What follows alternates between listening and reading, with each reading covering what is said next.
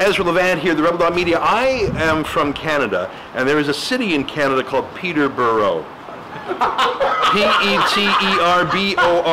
Peterborough. Are you from Peterborough? I'm from Peterborough.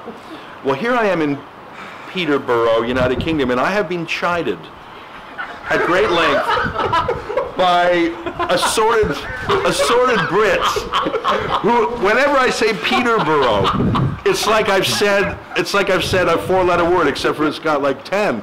So, fellas, can you help me? Four words away. How do you say it's not Peterborough? No, it's not. Is it Peterborough? Peterborough. Peterborough. Are you even saying the T? Is it Peterborough? Peterborough. That's it. Okay, you said a T. Peterborough. Peterborough. Peterborough. Borough.